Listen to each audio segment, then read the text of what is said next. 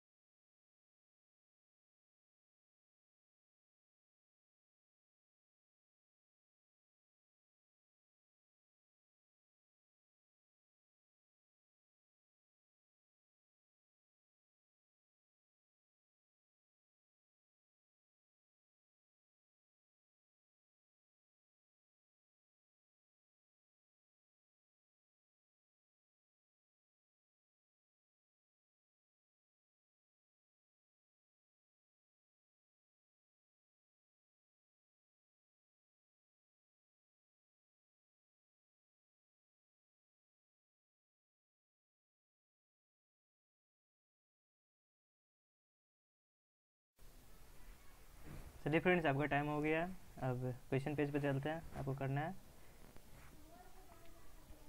ये आपके सामने क्वेश्चन है ना? थर्टीन फोर्टीन फिफ्टीन है ना? इसका पहले का पार्ट हमने किया है इसे पिछले वाले वीडियो में। और ये नेक्स्ट पार्ट है तो ये पहले का बारह क्वेश्चन उधर था और बारह क्वेश्चन इसमें है ना? तो आपको चलिए लगाना है। आपके पास दो मिनट का टाइम है। चलिए स्टार्ट करिए।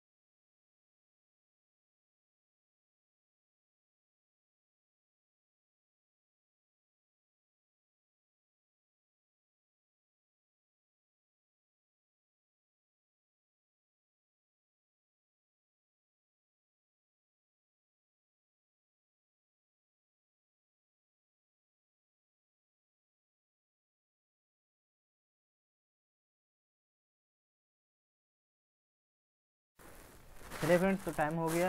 मिलाते हैं आंसर क्या है अपना, है ना? तो थर्टीन का अपना क्या हो जाएगा? थर्टीन डी हो जाएगा।